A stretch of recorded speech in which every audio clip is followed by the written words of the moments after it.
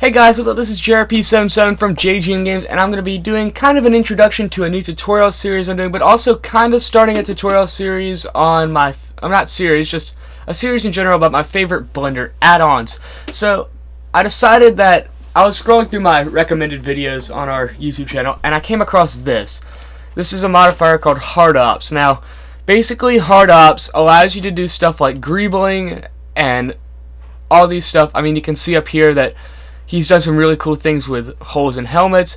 Basically what it is, is it's a hard surface modifier. Now, basically a hard surface modifier is, it allows you to do details like this and stuff that you wouldn't normally do in stuff like, I don't know, some stuff you would normally do in sculpting. But he's made this awesome modifier, so I would figured I would show this off as part of a new series on my favorite add-ons, but also this is kind of like an intro into a tutorial series I'm going to be doing on this modifier. I mean, not modifier. I keep thinking modifier. It's an add-on. Um, it's going to be fun. It's got some really cool stuff in it. I mean, he's got some really cool videos on his channel. Um, he's got some really good documentation, but I don't see... A, but a lot of the stuff is aimed at people who use Blender all the time and are essentially masters at Blender. And so I figured, why not make a series on how to do stuff? So what I'm going to be doing in this is time-lapse modeling this. Now, this is just a fairly simple crate, but I'm going to try to make it look pretty similar to this. I mean, the handle I'll probably do as a separate object, but you get the idea. Um, I'm not going to do any sculpting. This is all the modifier, and so in the next part of the video, I will be doing the time-lapse.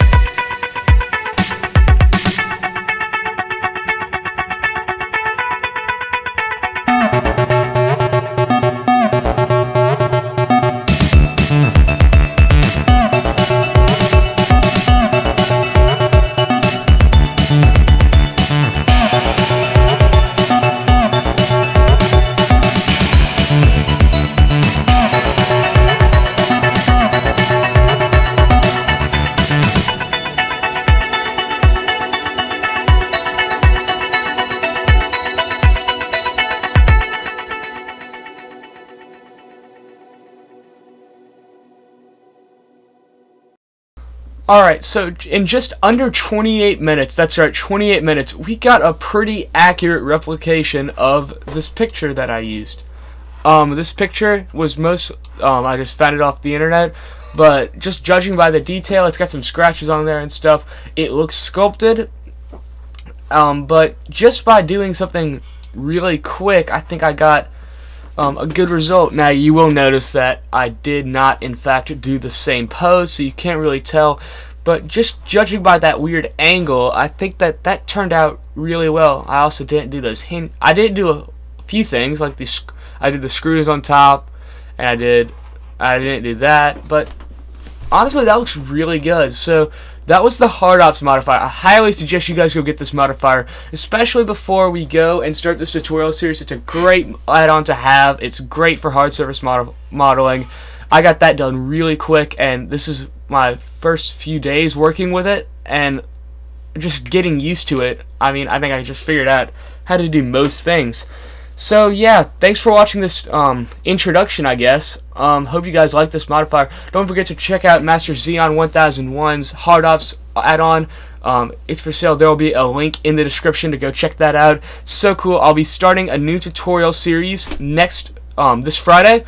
Um, so don't forget to go check that out. Friday at 12 o'clock, this series will be starting. Thanks for watching, guys, and I'll see you guys next time.